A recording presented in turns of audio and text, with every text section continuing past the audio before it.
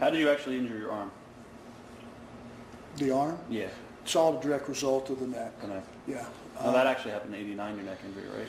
Uh, the first one, when I was with WWF, uh, wrestling the Rockers, Madison Square Garden in the afternoon, Jannetty hooked me uh, for, it was called a victory roll. Jumped up, legs go over the shoulders, he arches back, flips you through. Well, I didn't get tucked, head, boom, right in the mat.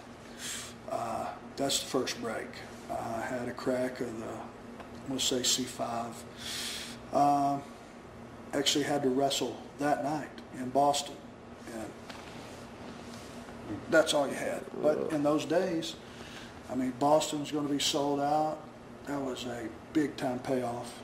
You know, we were next to last on the card, right underneath Hogan. I wasn't missing that for the world. A lot of guys would have took. Your injury. Okay. Um, You're in Boston, you couldn't move. yeah, uh, that was the first chink in the armor. Had to wrestle in Boston that night. Thank God, tag situation is your partner takes care of you. I don't think I even got in the whole match. Um, then when I first came back in 90, wrestling the Steiners, Ole and I in Greensboro, the arm just went out. But this was the right arm now. Um, just crawling across the ring, I think I took a power slam or something. Um, the arm just died. The rear delt completely atrophied. Bicep died, never came back. Um, that was a three-month rehab, no surgery. Came back, was able to wrestle. Um, then right before Halloween Havoc, I necked in 1997. My neck had been giving me fits, uh, really tight, just tight and gravel and just just brutal. I guess it was just chips moving around. Been broke a couple times at this point. The X-rays had shown there were a couple of the um, discs were completely herniated and this and that. You know, the doctors are saying quit, quit, quit. And you take it with a grain of salt. Finally, the day before Halloween Havoc, I walked in the Gold's Gym in Las Vegas, grabbed a couple 30-pound dumbbells just to warm up. And apparently, from locking the door in the parking lot to walking across that parking lot, a chip must have moved over a nerve canal and shut this hand down, my left hand. Because when I grabbed those dumbbells like a nightmare, it just fell out of my hand. Boom, hit the floor. It's like one of those horrible dreams. You look around, make sure you're awake. Tried to pick it up. My thumb and the first two fingers were completely gone. And uh, we all think it's just a pinched nerve. That's what we're conditioned to as wrestlers. Didn't say anything. Uh, was unable to work out that day. Wrestled Luger. And uh, if you go back and watch the match, I had tape, you know, on fingers and every, anything I could do to hang on. Um, had no use of the left hand. And uh, consequently, I wrestled that match and wrestled another probably two months, very limited. We're on a limited schedule, November and December. We didn't wrestle about six times in December. January, we went to, uh, my left hand just kept getting worse. It started to atrophy, and my arm started to atrophy through here. And I said, God, this is bad. I started having the, some tests run, and doctor said, uh, this is bad. This is bad. Uh, you need to stop. You need to stop. Finally, I was loose, lacing my boots up at a Disney taping, and I was having a problem getting it through the eyelets. And, and uh, Eric looked at me and said, what's the matter with your hand? I said, oh, it's been this way a couple months, Eric. He said, take your boots off. I said, I want you to go get checked. I said, I have been checked. He said, what'd they say? They said, well, quit. I said, well, what do you want to do? I said, well, I don't know, I want to have this one last test. So I had another MRI CAT scan, and uh, diagnosis was 5, 6, 7, and T1. All the nerve canals were totally blocked.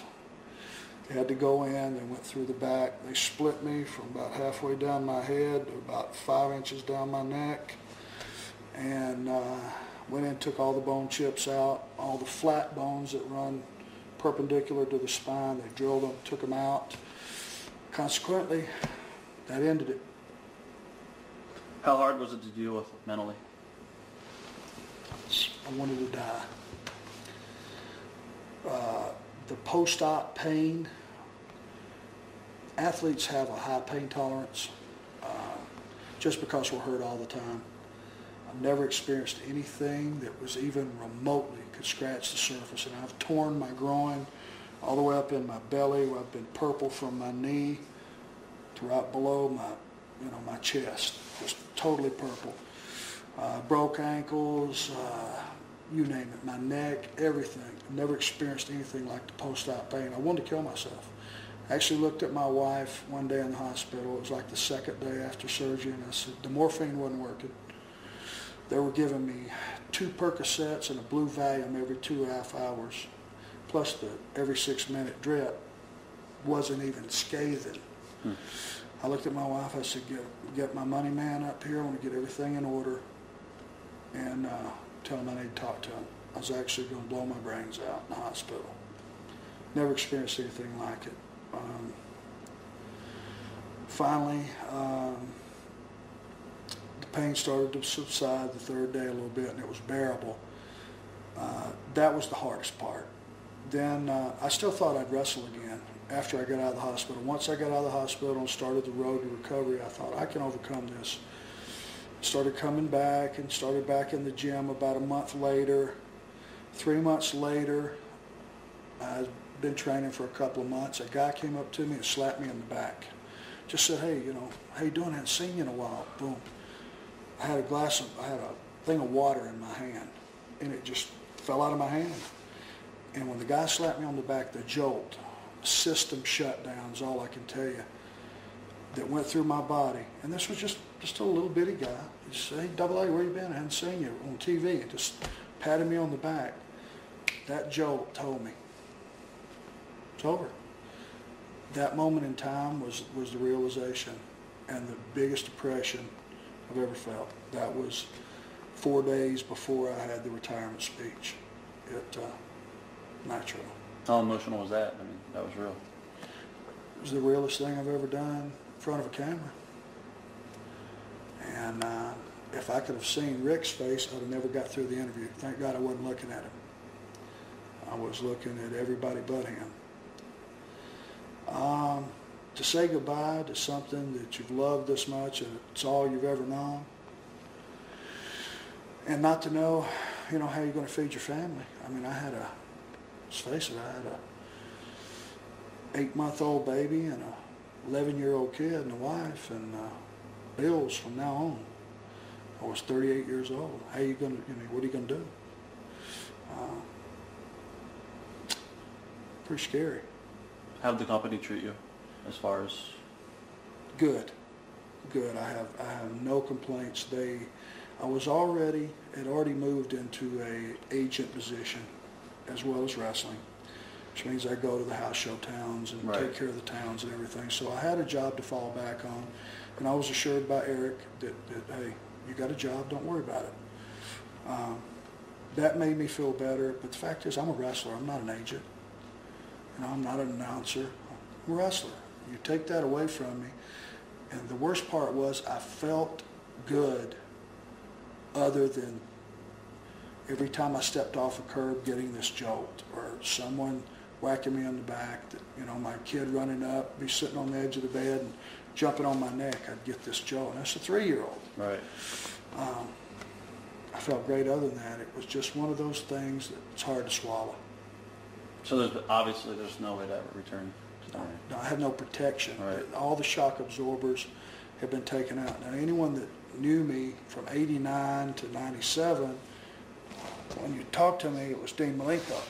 You know, Right. the whole upper body had to turn. Now, I have this, uh, which I didn't have, and I'm 80% pain-free. I have bad days, good days, but I never had this. So there's a blessing underneath there, but still, Right, I would swap this for that if I could wrestle again. right.